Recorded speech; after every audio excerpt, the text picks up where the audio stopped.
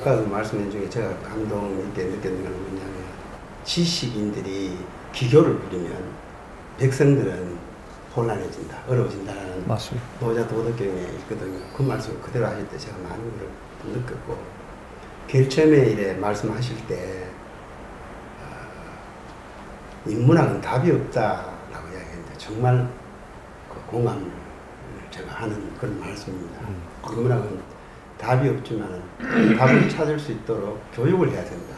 제가 항상 생각하는 부분이 그 부분인데 우리나라 진정한 교육을 가르칠 사람도 없고 그렇게까지 가는 사람도 없습니다. 선생님께 질문 좀 드리겠습니다. 예.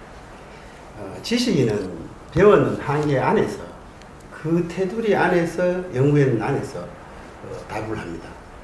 과학은 의학은 물론 대답을 못해요. 어, 물론 다른 전공하는 사람도 자기가 공부하는 한계 안에서만 깊이 알고 음. 있죠. 스승님은 그도 처자태 많은 이야기를 들었습니다. 음. 들었고 오늘 직접 뵈니까 너무 많은 영광인데요.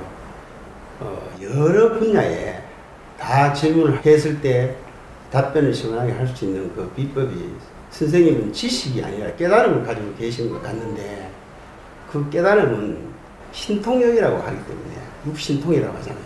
신통력을 가지고. 안 봐도 안 가도 볼 수 있고 안 들어도 들었는 것과 똑같고 그 사람하고 대화를 안 해도 마음을 다하는 그런 신통력을 가지고 계시는 것 같은 분이다라는 생각을 오늘 가지게 됐습니다 실제로. 그래서 그거를 직접 스승님은 이렇게 질문을 받고 상대와 이래 있으면서 대화를 하면서 어, 신통력을 어디서 반- 받고 계시는 것 같은 기분을 많이 제가 느꼈거든요 느낌을요. 실질적으로 제가 생각하는 게 맞는지 스승님께 묻고 싶습니다. 우리가 이야기하는 신통력 이거는 신을 통한 사람들이 하는 겁니다. 어, 그는 신 받았다든지 또 신이 내 몸에 들어왔다든지 어, 접신이 됐다든지 요런 사람들을 이야기하는 거예요. 어, 그거는 한계가 있는 겁니다. 어, 신들하고 손을 잡고 일한다라는 게 너한테 와서 신통한 신이 어떠한 능력을 가지고 있느냐 요만큼밖에 못 씁니다.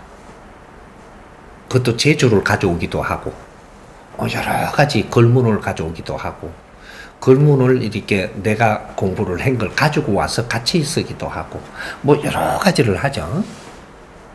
땅 밑을 이렇게 갖고 그 이게 보기도 하고 이런 걸 알아맞혀오는 걸 제자를 통해서 하는 거죠. 어, 이런 걸 하는데 이 사람은 신통을 한 사람이 아니에요. 어, 이 사람은 그런 것들은 기본적으로 다 일어나는 것들을 이게 무엇인가를 이걸 전부 다 깨우치고 이걸 전부 다 타파한 거예요. 어, 타파하고. 아, 이걸 이야기하려면 너무 장대하고 깊은 거라서 이 답부터 이야기를 하면 나는 자연에 들어갔던 사람입니다. 난 초등학교 2학년 때 책을 놓은 사람이에요. 책을 안 봤습니다. 2학년 때 책 놓은 사람. 그러면 일반 지식을 갖춘 사람이 아니에요. 그러면 나는 4살 때부터 고아로 자라고 껌파리 신문파리로 나는 성장한 사람이에요. 이 사람이 청년 시절에 나는 이 세상을 그만 살고 죽으러 들어갑니다. 그래서 들어간 게 산이에요. 산에 들어가서 죽을라고 하는 순간에 내 못난 게 무엇인지를 깨닫기 시작합니다.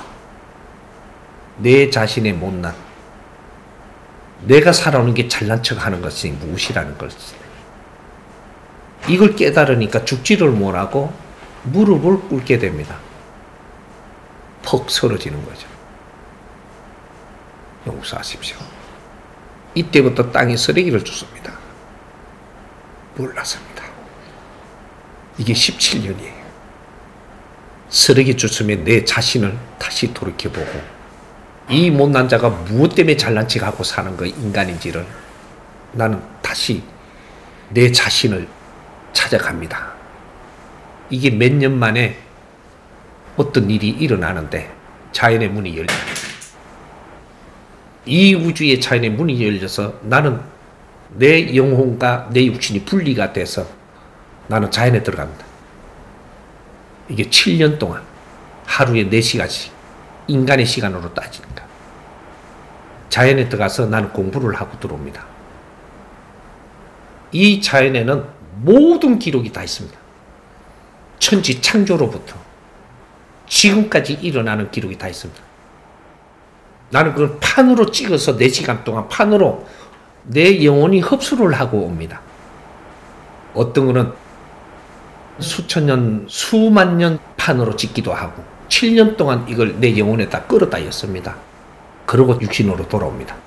이걸 7년간 있었던 일이에요. 인류의 역사. 창조로부터 지금까지 오는 모든 것을 나는 공부를 다 하고 왔습니다. 나는 기억 못 합니다. 다 흡수는 했는데 기억을 안 합니다.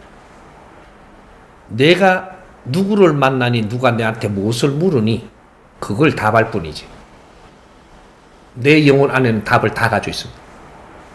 너가 물으니 근기에 맞게 너가 이해되게 설명하는 것은 내가 합니다. 나는 그걸 기억하고 이야기하는 사람도 아니고 누구한테 받는 사람도 아니고 지금 그 일을 하고 있는 겁니다. 그래서 신통이니 안통이니 그런 이야기하고 내하고는 맞는 게 아닙니다. 나는 내 자신을 닦으면서 티 없이 맑을 때까지 닦고 있는 순간이 몇 년이 있었습니다. 그때부터 스스로 자연이 하나가 되고 자연이 일어나는 대로 나는 따랐을 뿐이지. 그 많은 이런 질량을 내가 소화하고 또 인간의 육신으로 왔을 때는 다시 쓰레기를 줬습니다. 잘난 척하고 입 열어본 적도 없고 7년 동안 그런 일을 합니다. 이걸 신통이라고 이야기한다면 제하고는 안 맞는 겁니다. 뭐라고 했든 나는 자연으로부터 공부를 한 사람이고 그 공부를 한 걸 갖고 이 세상에 필요한 답을 주고 있는 사람이지. 아, 그래서 천지 아래 무엇이든지 물어라 하고 나온 사람이니까 그렇게 이해하면 됩니다.